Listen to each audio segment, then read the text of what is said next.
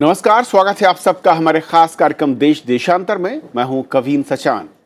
दिवाली से पहले supreme court ने देश भर में पटाखों की बिक्री और पटाखे चलाने पर रोक तो नहीं लगाई, लेकिन इसके लिए कुछ शर्ती और नियम बना दिए हैं।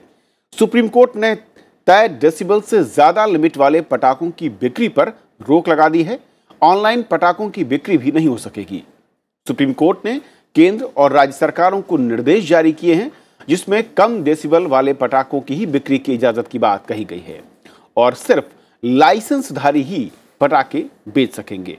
साथ ही सुप्रीम कोर्ट ने दिवाली पर रात 8 बजे से 10 बजे तक ही पटाखे जलाने की अनुमति है। और क्रिसमस और न्यू ईयर में सिर्फ़ 35 मिनट। और ये समय सीमा ग्यारह बजकर पचपन मिनट से रात बारह बजकर तीस मिनट के बीच की होगी।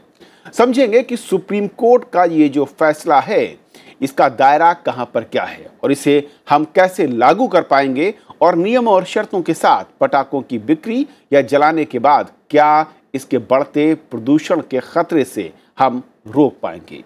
हमारे साथ कई खास मेहमान हैं। अमित भंडारी हैं, जो कि याचिका करता है। वकील है आप सुप्रीम कोर्ट में। स्वागत है अमित आपका। हमारे साथ प्रोफेसर सी के वाशने हैं, मशहूर पर्यावरणविद हैं। आपका स्वागत है। अजय दुआ हमारे साथ हैं। पूर्व सचिव, वाणिज्य और उद्योग मंत्रालय। दुआ साहब बहुत बहुत स्वागत आपका। शुरुआत में करना चाहूँगा अमित भंडारी जी आपका कि जो आपकी याचिका थी बेसिक इसमें मांग तो यही थी कि पूरी तरीके से पाबंदी लगाई जाए पटाखों को लेकर अगर मैं गलत नहीं हूँ। जो कोर्ट ने कहा है वो मोटे मोटे तौर पर क्या डेडलाइन है या फिर क्या गाइडलाइन है क्या नियम शर्तें हैं? मैं आपको यहाँ बता दूँ कि हमारी पिटिशन जो थी वो सिर्फ़ फटाखों पर नहीं थी। फटाके इसमें एक प्रेयर थी एक हमने इसमें प्रेयर की इसमें हमने ये भी कहा था कंस्ट्रक्शन से जो पोल्यूशन हो रहा है उसे भी रोका जाए। हमने ये भी रिक्वेस्ट की थी उसके अंदर कि जो बाहर से इलेक्ट्रिक व्हीकल्स बनाए जा रहे हैं उस पर ड्यूटी कम की जाए। वो सब आयाम जिससे प्रदूषण कम हो हमने सबकी मांग की थी जिसमें हमने ये भी कहा था कि स्टबल बर्निंग पास के स्टेट में वो भी ना हो। ये सुप्रीम कोर्ट ने 2015 में कहा कि क्योंकि आपने सितंबर में दायर याचिका दायर की है और दिवाली बिल्कुल सामने है तो हम पहले फटाखे कम लेंगे और उसके बाद में सुप्रीम कोर्ट ने बाकी फैक्टर छोड़ दिए हैं पर वो अभी भी कायम हैं। आज सुप्रीम कोर्ट का निर्णय ऐतिहासिक इसलिए है कि सुप्रीम कोर्ट ने माना है कि ये मेजर कारण है पोल्यूशन का इसके साथ में और भी कारण है। पर पटाखे एक मेजर कारण है पोल्यूशन का जिससे 2.5 लेवल जो निकलती है उससे इतना ज़्यादा नुकसान पहुँचता है कि वो इरिवर्सिबल है उसको कभी ठीक नहीं किया जा सकता। एक दो नहीं 28 डॉक्टरों ने एफिडेविट फ़ाइल किया था सुप्रीम कोर्ट के अंदर। जो कि कार्डियोलॉजिस्ट थे पल्मोनोलॉजिस्ट थे उन्होंने कहा था कि एक बार लंग्स में ये 2.5 चला जाए तो इसको किसी भी तरीके से ठीक नहीं किया जा सकता है। और यहाँ समझना ज़रूरी ये होगा कि 2.5 पीएम लेवल है क्या? नहीं मैं इस पर आऊँगा क्योंकि पहले कि कोर्ट ने आखिर किन पटाखों की बिक्री की बात कही है कैसे वो बिक्री होगी और वो कौन सी एजेंसियाँ हैं जिसकी निगरानी का काम करेंगी और देखेंगी कि अगर उल्लंघन होता है तो फिर उसके खिलाफ सजा हो। सुप्रीम कोर्ट ने अपने निर्णय में ये कहा है कि सरकार ने चार एजेंसियाँ थी expert C S R NEERI, PESO and C इन चारों को उन्होंने कंसल्ट किया और एक एफिडेविट फ़ाइल किया। उसमें उन्होंने कहा कि फटाके अब जो बाज़ार में हैं, वो ठीक नहीं हैं। हमारे दिमाग में और हमारा एक ऐसा सोच है कि हम ऐसे फटाके बनाएँगे जो कि ग्रीन फटाके होंगे, जिसमें एमिशन लेवल कम होगा और जिसमें एमिशन लेवल और डेसिबल भी लिमिट होगा ये एक्ट में प्रोवाइडेड है ऑलरेडी पैसो इसमें अथॉरिटी है वो डिसाइड करेगी कौन से केमिकल यूज़ कर सकते हैं कौन से केमिकल यूज़ नहीं कर सकते हैं। जैसे उन्होंने बहरहाल बेरियम एक केमिकल है जिसको कम्प्लीटली बैन कर दिया है। मरकरी लेड कम्प्लीटली बैंड है ऑलरेडी तो उन्होंने कहा था ये कोई भी केमिकल्स पटाखे बनाने में यूज़ नहीं किए जाएँगे। ऐसे यूज़ किए जाएँ जिसके जिसका 2.5 लेवल जब छूटे तो कम हो इन कंपेरिजन टू ये सब। तो सुप्रीम कोर्ट ने यही कहा है कि ये फटाके एक सप्ते भर में आएँगे सप्ते भर में इसकी गाइडलाइंस दी जाएँगी ये फटाके बनेंगे। वो सारे फटाके जो बन चुके हैं जो इस गाइडलाइंस के मद्देनजर नहीं हैं वो सब बैन किए जाते हैं इस देश में नहीं बिका जाएगा। सुप्रीम कोर्ट ने यह भी कहा है कि दो वीक के अंदर दिल्ली के अंदर कम से कम आप सरकार कम्युनिटी सेंटर्स बताएँगी कम्युनिटी एरियाज़ बताएँगी जहाँ पर फटाके छोड़े जा सकते हैं। आज आपके घर के सामने मेरे घर के सामने फटाके नहीं छोड़े जाएँगे। आठ से दस बजे भी वो कम्युनिटी एरियाज़ ही होंगे जहाँ पटाखे छोड़ सकते हैं। यानी कि कॉमन प्लेस की बात कॉमन प्लेस जो खुला एरिया होगा ऐसे एरिया में जाके पटाखे छोड़ सकते हैं और इसके लिए डायरेक्टली उस एरिया के एसएचओ को जिम्मेदार ठहराया गया है उसे कहा गया है कि अगर कुछ भी हमारे निर्णय के खिलाफ या उसके अनुसार नहीं होता है तो आप पर्सनली लाइबल होंगे कंटेम्प्ट के इस निर्णय का Okay. इस सुप्रीम कोर्ट ने कहा है। दुआ साहब मैं यहाँ पर आपको लाना चाहूँगा क्योंकि जिस तरीके से अमित जी ने बताया, कोर्ट का पूरा आदेश और जो गाइडलाइंस या मैं कहूँ कि जो नियम शर्तें कोर्ट ने कही हैं। ऐसे में जो ट्रेडर्स हैं या जो इम्पोर्टर्स हैं, क्योंकि पटाखों का एक बड़ा हिस्सा हम आयात करते हैं, चीन से अलग अलग देशों से आता है। नई पॉलिसी आएगी, या तब तक इंतज़ार करना होगा, या फिर जिनके पास लाइसेंस हैं, वो मंगा सकते हैं, और अगर वो मंगाते हैं तो वो बेचने के यहाँ पर परमिट उनके पास नहीं होगा। तो ये क्या है? ये एक, मैं कहूँ कि ओपन एरिया है। या यहाँ पर अभी खाली जगह छुटी हुई है या फिर नए डायरेक्टिव्स के बाद ही इन्हें लागू करना होगा? नहीं मुझे लगता है कि जो आज सुप्रीम कोर्ट ने कहा उसके अनुसार अगर आप कोई चीज़ बेच नहीं सकते तो आप किस कारण हिंदुस्तान में उसे लाएँगे? अपना खर्चा क्यों करेंगे? अगर अलाउड भी है पर यह भी कुछ समय की बात है कि अपनी इंपोर्ट पॉलिसी में ये भी बंधन डाल दिया जाएगा कि जब तक जिस जिसको आपने कहा कि ग्रीन पटाखे हैं ग्रीन पटाखों के अलावा दूसरा कोई देश में नहीं आ पाए। अब ग्रीन पटाखे जो जो आज का ऑर्डर है उसके हिसाब से उन्होंने कौन सी केमिकल यूज़ होती है? पेसों को अधिकार दिया है आर्सेनिक मरकरी लेड बेरियम इत्यादि देखने का। तो उनको जो बाहर से आयात हुए, उनको भी ये पैसों देखेगी वेरीफाई करेगी। साथ ये भी देखा सीपीसी भी और स्टेट की जो एजेंसीज हैं, वो ज़रूर अपनी निगरानी रखेंगे कि उनके नॉइज़ लेवल कितनी है और उनका जो एमिशन एयर एमिशन होता है, कितना है। पुलिस वाले को देखना पड़ेगा ये दोनों चीज़ें कि जी, एक कि ये ग्रीन है कि नहीं और दूसरा वो अपनी जो ठहराई जगह है कम्युनिटी जगह है कॉमन जगह है वहीं पे इसका इस्तेमाल हो रहा है और वो समय का बंधन है कि नहीं कि जो समय के बंधन के अनुसार सर्वोच्च न्यायालय ने आज रखा है आठ से दस बजे और ग्यारह पचपन से साढ़े बारह बजे तक हम्म। और फाइनली उनको देखना है सो एसएचओ की ज़िम्मेदारी बहुत हो जाएगी जो पटाखे बेच रहा है उसके पास लाइसेंस है कि नहीं मेरे हिसाब से ये सब चीज़ें स्वागत का हमें स्वागत करना चाहिए। कारण अभी तक हमने यही देख के कि ये तो लोगों की खुशी है, खुशी के प्रतीक है पटाखे बजाना। भगवान का रिलीजियस के साथ साथ जोड़ के सुप्रीम कोर्ट ने कहा है कि हम किसी भी रिलीजियस मामले में नहीं जा रहे। हम ये कह रहे हैं कि देश के लोगों की सेहत के लिए, देश के लोगों, बच्चों की सेहत के लिए, बूढ़ों की सेहत के लिए, बहुत और सब सामान्य लोगों के लिए बहुत ज़रूरी है कि वो जो हवा सांस लेते हैं वो स्वच्छ हो और साथ साथ जो लोगों को और कोई नॉइज़ पोल्यूशन से उनको कोई आ, और कोई कष्ट ना हो। मेरे हिसाब से ये गाइडलाइंस आएँगी। ये सब चीज़ें गाइडलाइंस में लिखी जाएँगी आयात के बारे में।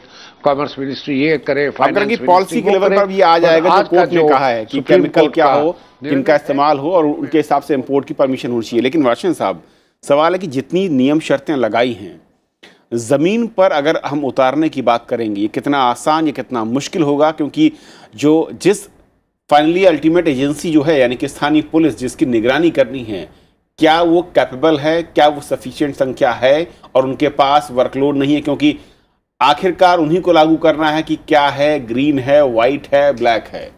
देखिए, ये जो पहले हमें समझना चाहिए कि जो आदेश आया है और जो हाई कोर्ट ने जो आदेश दिया है, ये तो अपने आप में बहुत अच्छा है और स्वागत के लायक है और इसका हमें सबको स्वागत करना चाहिए। आपको ये जान के मतलब ये सर्वविदित है कि हमारे देश के अंदर प्रदूषण की समस्या, वायु प्रदूषण में बहुत अधिक है और इतनी अधिक है कि ये विश्व के स्तर में जहाँ तक आता है, हमारे यहाँ सबसे अधिक है। विश्व में हमारे यहाँ सबसे अधिक वायु प्रदूषण है और ख़ास तौर से दिवाली के मौके पर तो इसका स्तर बहुत ज़्यादा बढ़ जाता है और इसकी वजह से सांस वगैरह लेने में बहुत दिक्कत आती है।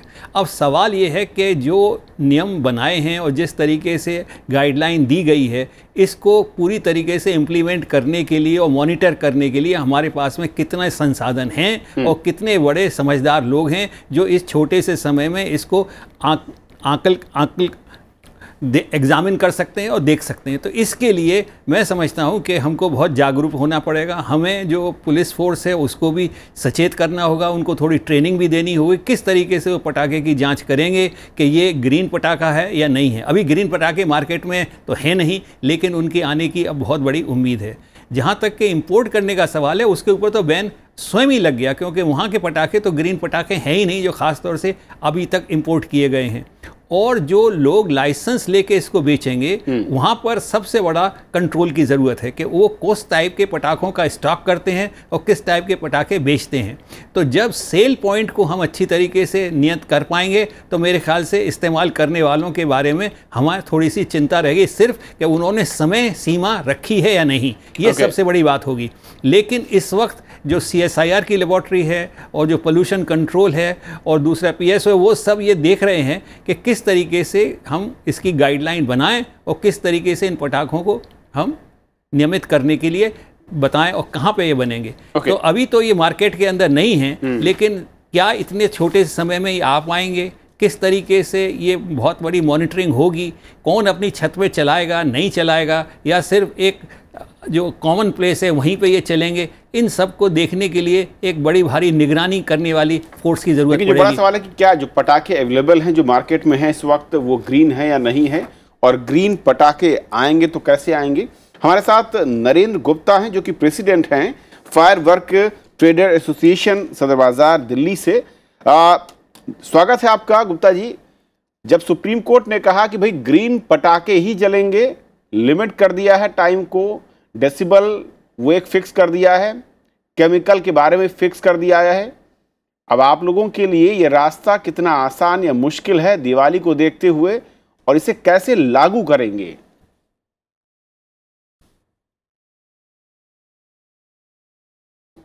हम्म। कविंद्र जी, मेरा कहना यह है कि ये जो इन्होंने आज 23 तारीख को सुप्रीम कोर्ट, माननीय सुप्रीम कोर्ट का जो ऑर्डर आया है, हम इसका बहुत स्वागत करते हैं। हृदय के साथ इनका अभिनंदन करते हैं कि इन्होंने हमारी भावनाओं को, हिंदुओं की भावनाओं को, सारे देश की भावनाओं को समझते हुए ये फैसला दिया है। और दूसरी बात यह है कि ये ग्रीन पटाखा जो शब्द है ये आज पहली बार हम सभी लोग सुन रहे हैं।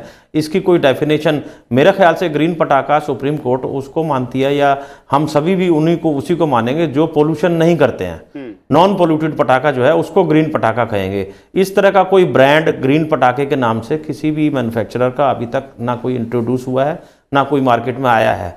और जो नॉर्म्स सुप्रीम कोर्ट ने दिए हैं कि इस पटाखे में हर पटाखे में ये केमिकल नहीं होना चाहिए डस्ट नहीं होनी चाहिए, या उसको आवाज़ का जो डेसिबल पॉइंट है, उसका लो लेवल होना चाहिए, वो सब जो मैन्युफैक्चरिंग है, वो अब हो रही है या अब होगी। तो आने वाले सालों में, वर्षों में, जो भी होगा वो सब सुप्रीम कोर्ट मान्य सुप्रीम कोर्ट की जो ऑर्डर आया है उसी के तहत हम सब लोग बेच पाएँगे और उसी के तहत हम सब लोग छुटाएँगे। लेकिन आदर्श इस वर्ष है। जो पिछले साल हमारे लेकिन इस बार जो मार्केट में स्टॉक है गुप्ता साहब मैं व्यवहारिक पक्ष पर आना चाहता हूँ। जो मार्केट में स्टॉक इस वक्त है जो एक आम जनता के सामने विकल्प है क्या उस विकल्प में वो पैरामीटर के साथ मौजूद है पटाखे या नहीं है? और अगर हैं तो जिन एजेंसियों को काम दिया गया है इसकी मॉनिटरिंग का आपको लगता है कि वाकई वो सही सामान जो सुप्रीम कोर्ट ने कहा है उन पैरामीटर पर ही बिक पाएगा या फिर वहाँ पर भी आप लोगों को दिक्कत हो सकती है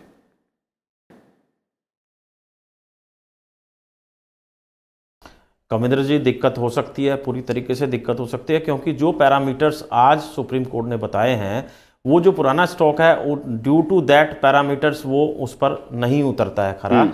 लेकिन हमारी जो प्ली थी सुप्रीम कोर्ट के साथ अपील करने की कि जो पिछले साल हमारा पटाखे का लाइसेंस दिया गया और उसके बाद पाँच दिन बाद वो रद्द कर दिया गया तो उस पाँच दिन के अंदर जो हमने पटाखा खरीद लिया, अपना स्टॉक हो गया, उस स्टॉक को क्लियरेंस के लिए हमारी प्ली थी कि भाई ये स्टॉक क्लियर होना चाहिए अदरवाइज़ ये गलत रास्ते से बिकेगा, गलत तरीके से बिकेगा तो जितनी भी अथॉरिटीज़ हैं, वो सब उसके ऊपर प्रेशर बना के रखेंगी और वो काम नहीं हो पाएगा।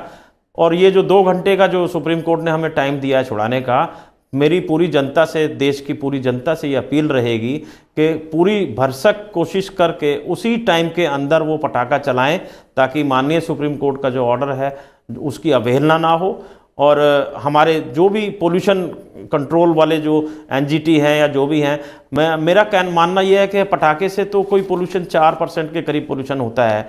और जो मेन पोल्यूशन है जो दिल्ली एनसीआर में इंडस्ट्रीज़ लगी हुई हैं बड़ी बड़ी उसमें रबड़ जलती है प्लास्टिक वेस्ट जलती है या फिर पंजाब में मोड से कितना पॉल्यूशन होता है। मैं सीधे तौर पर एक सीधा सवाल है उसके बाद में चर्चा को थोड़ा सा और समझना चाहूँगा विस्तार से। क्या हाँ बाज़ार में इस वक्त कोई ऐसा पटाखे या कितने परसेंट या कितने फ़ीसदी पटाखे अवेलेबल हैं जो कि सुप्रीम कोर्ट के आज के पैरामीटर को पूरा करते हैं? चाहे वो वायु प्रदूषण का मामला हो या फिर ध्वनि मामला। सर वो सर उस तरह का पटाखा तो अभी तक कोई ना मैंने सुना है ना कोई किसी मैन्युफैक्चर का आया है आया नहीं है। चलिए। माननीय सुप्रीम कोर्ट दुआ साहब। नॉर्म्स यही यही सबसे बड़ी समस्या है कि तो दिवाली से पहले खुद जो ट्रेडर एसोसिएशन के वो कह रहे हैं कि इस तरह का कोई भी माल ना तो बाज़ार में है ना मैन्युफैक्चरिंग लेवल पर है। कैसे होगा इसे लागू करना? क्योंकि असल दिक्कत है लागू करने की। मुझे लगता है कि अगर पुलिस सतर्क रही तो हो सकता है कि इस साल की दिवाली में वो दो घंटे भी के लिए भी कोई पटाखे ऐसे नहीं होंगे जो सुप्रीम कोर्ट की सुप्रीम कोर्ट के निर्णय के अनुसार ग्रीन गिने जा सकते हैं। ठीक है, कारण हम देख रहे हैं कि दिल्ली जैसे शहर में ऑलरेडी पोल्यूशन शुरू हो गया है। पंजाब से या हरियाणा से जो स्टबल बर्निंग करके आ रहा है। अगले साल सरकार, जो हमारे क्रैकर्स बनाने वाले हैं, पटाखे बनाने वाले हैं, वो उसी हिसाब की बनाएँगे और उतनी ही संख्या में बनाएँगे जितना उनको लगता है जिसकी खपत हो सकेगी दो घंटे दिवाली में और दूसरे त्योहारों में जो 35 मिनट की छूट के लिए विंडो दी गई है उसी के कारण कोई इतनी मैं ज़रूर समझता हूँ कि जो धंधा करते हैं उनके ऊपर ये थोड़ा सा कठिन कठिनाई होगी। पर अगर हमने लार्जर गुड जिसे कहते हैं देखना है देश का सारी जनता की सेहत का तो, उसके लिए ये अनिवार्य था। मैं एक चीज़ कविंद्र जी और कहना चाहूँगा आपने शुरू में पूछा था कि ये पुलिस ये कैसे एनफोर्स कर पाएगी? एक अधिकार सरकार को है हर स्टेट गवर्नमेंट सरकार को कि वो किसी को भी स्पेशल पुलिस ऑफिसर किसी काम के लिए नियुक्त कर सकती है। अगर पुलिस की संख्या कम है हम्म। कहीं पुलिस दूसरे कामों में व्यस्त है तो जैसे कॉलोनी के रेजिडेंट वेलफेयर एसोसिएशन होती है उनके पदाधिकारियों को सरकार कह सकती है इस काम के लिए इस दिनों के लिए आपको पुलिस के अधिकार दिए जा रहे हैं आप कंप्लेन ले सकते हैं आप लोगों को जाके कह सकते हैं मत करिए okay. ये ये प्रदेश प्रदेशों में कब कब से चल रही है? हिंदुस्तान के कायदे में भी रूल कायदे में इसकी प्रोविज़न है। और मेरे हिसाब से ये कोई ज़्यादा ट्रेनिंग की ज़रूरत नहीं। जैसे हमने होम गार्ड को अधिकार दिए गए होम। गार्ड्स को कभी कभी लोकल संस्थाएँ आरडब्ल्यू सोसाइटी हैं। उनको इसकी ज़िम्मेदारी दी जा सकती है और वो पुलिस के साथ कोऑर्डिनेट करते हुए इस पर अमल कर सकते हैं। अमित साहब जो बात हमारे साथ कह रहे थे गुप्ता जी वो साफ़ दिखाती है कि इस तरह के ना तो पटाखे बाज़ार में ना मैन्युफैक्चरिंग लेवल में है। तो क्या ये माना जाए कि ये सीधे तौर पर नहीं लेकिन पटाखों पर इस बार का बैन है? बिल्कुल सही है।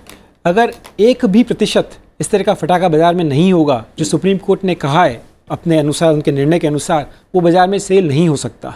क्योंकि ये सेल पे उन्होंने बैन लगाया है मैन्युफैक्चरिंग पे बैन लगाया है और आगे बाद में थ्री लेवल्स पे उन्होंने रोका है ऐसे फ़र्स्ट तो मैन्युफैक्चर ही नहीं होंगे मैन्युफैक्चर हो गए तो वो सेल नहीं हो पाएँगे। अगर सेल भी कर दिया तो वहाँ पर पुलिस अथॉरिटीज़ की जिम्मेवारी होगी कि ऐसे पटाखे जो कि सुप्रीम कोर्ट के निर्णय के अनुसार नहीं बने हुए हैं वो नहीं बजेंगे।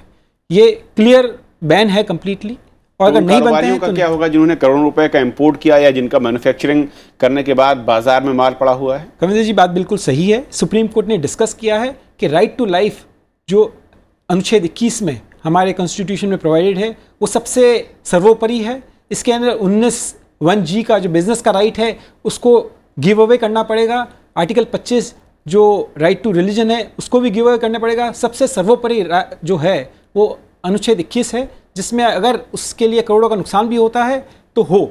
उन्होंने ये कहा है, उन्होंने कहा है कि हमने कॉस्ट एनालिसिस किया है, और उसमें हमने पाया है कि जो कॉस्ट आप कमाते हैं उससे बहुत ज़्यादा हम्म। लोग अपने सेहत पे खर्च कर देते हैं उसके बाद क्योंकि आपको समझना होगा कि point two point five PM 2.5 है क्या नहीं, बिल्कुल। अगर जान आज कीमत नहीं ज़्यादा है एक चीज़ एक चीज़ बहुत ज़रूरी है अगर ये एक पीएम 2.5 आज यहाँ से गिरता है तो एक महीने के बाद में नीचे गिरेगा हम्म। ज़मीन पर इतना छोटा इतना माइन्यूट होता है अपने लंग्स में गया तो कभी भी कोई भी दवाई आपको ठीक नहीं कर काम नहीं करती उस पर तो आपको समझना होगा इस चीज़ पे। और ये कहते हुए सुप्रीम कोर्ट ने कहा है, अगर करोड़ों का नुकसान होता है तो हो, क्योंकि राइट टू लाइफ और राइट टू क्लीन इन्वायरमेंट सबसे पहला अधिकार है। गुप्ता साहब, बहुत संक्षेप में, क्या ये माना जाए, आपके नज़रिए से मैं समझना चाहूँगा कि ग्रीन पटाखे जिसकी बात आज निर्देश में की गई है, वो वाकई लाना आसान है? या जिन केमिकल्स की बैन करने की बात है, जिन डेसिमल लेवल पर जाने की बात है उन सब दायरे में पटाखे अब मुमकिन नहीं है। ये हमें मान लेना चाहिए।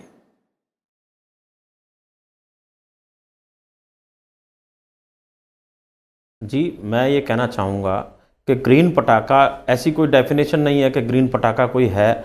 और ग्रीन पटाखा मेरे हिसाब से वही है जो नॉन पोल्यूटेड पटाखा है। वो बन रहे हैं चार पाँच महीने से बन रहे हैं, वो कुछ परसेंटेज हैं जो बाज़ार में आएँगी।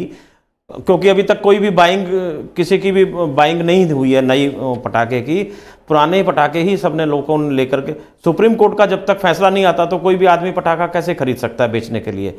आज ये ऑर्डर आया है तो आज हम ऑर्डर करेंगे और जो भी पटाखा है जो as per supreme court rules और मेरा मानना ये भी है कि अगर पोल्यूशन के लिए हम हम अगर हम पोल्यूशन के बारे में नहीं सोच पाते हैं तो हमको हिंदुस्तान का नागरिक होने का कोई हक नहीं है। बहुत अच्छी पहल आपकी सर। हम सब लोगों को अलर्ट होना पड़ेगा उसके लिए चुस्त होना शायद यही मकसद था कि नॉन सुप्रीम कोर्ट ने कहा कि जो सामूहिक स्थानों पर एक साथ सोसाइटी आए और पटाखे जलाने का काम करे यानी कि इंडिविजुअल की बजाय सामूहिक पर वाशन साहब वो एक अच्छी पहल हो सकती है कि बहुत अच्छी पहल है और इसका हमको पूर्ण रूप से स्वागत करना चाहिए बल्कि मैं कहूँगा कि एक दूसरे की तरफ़ निगार निगरानी रखनी चाहिए ताकि आदमी वहाँ पर सिर्फ़ अपने जगह नहीं, बल्कि एक निर्धारित जगह पर, जो कि एक साधारण लोगों के लिए हो, वहाँ पर जाकर ये पटाखे चलाएँ, ताकि सभी लोगों का मनोरंजन हो सके और पूरी कम्युनिटी का इसका फ़ायदा मिलेगा, सेहत के लिए भी, और इसका जो त्यौहार पे हर्ष और आनंद का होता है, उसमें भी सबको एक बहुत अच्छी एक प्रेरणा मिलेगी। एक चीज़ मैं और बताना चाहता हूँ कि ये जो P M two point five के अलावा जब पटाखे जलाते हैं, और जो आजकल के चलन में पटाखे हैं उनके साथ साथ बहुत सारे जहरीले तंत- तत्व और भी निकलते हैं। जैसे कि मैग्नीशियम है और क्लोरेट हैं और उसके बाद में ये कॉपर है और दूसरे और भी तत्व हैं जैसे जिंक है और एंटमनी है और इस टाइप के। तो इन सब की वजह से भी बहुत भारी नुकसान सेहत को पहुँचता है और इस सब का बहुत एक और भी दिक्कत होती है कि पटाखे की वजह से कई दफ़े दुर्घटनाएँ भी होती हैं और जिसको काफ़ी काफ़ी लोगों को अपनी जान भी देनी पड़ती है। तो इन सब का बचाव भी हो पाएगा ताकि अगर कम्युनिटी में आप जलाएँगे तो लोग आपको आप आगाह भी करते रहेंगे और आपको इससे बचाते भी रहेंगे। बहुत शुक्रिया आप चारों मेहमानों का। हमारे साथ इस बेहद अहम चर्चा में शामिल होने के लिए और ये समझाने के लिए कि आखिरकार पटाखों को जलाने या बेचने के लिए जो शर्तें सुप्रीम कोर्ट ने लागू की हैं वो ज़रूरी क्यों हैं? और उन्हें असल में ज़मीन पर कैसे उतारा जाए और उसमें हमारी और आपकी जवाबदेही या ज़िम्मेदारी क्या है? और बात आप दर्शकों की राय की। हमने कार्यक्रम दिखाया था चंदे के नए अंदाज, जिसे लेकर हमारे दर्शक हैं कुलदीप, जो कि लिखते हैं कि भारत में लोकतंत्र और राजनीतिक शुचिता बनाए रखने के चुनावी चंदे में पारदर्शिता ज़रूरी है और उसके लिए निर्वाचन आयोग को और मज़बूत बनाए जाने की ज़रूरत है। साथ ही राजनीतिक दलों को जवाबदेह बनाया जाना चाहिए। विवेक शुक्ला हैं, जो लिखते हैं कि चुनावी चंदा एक अच्छी पहल है, लेकिन चुनावी चंदे में पारदर्शिता का होना महत्वपूर्ण है। साथ ही न्यायालय और चुनाव आयोग का हस्तक्षेप भी ज़रूरी है, जिससे चंदे को एकत्रित करने के लिए किसी पर दबाव न डाला जा सके।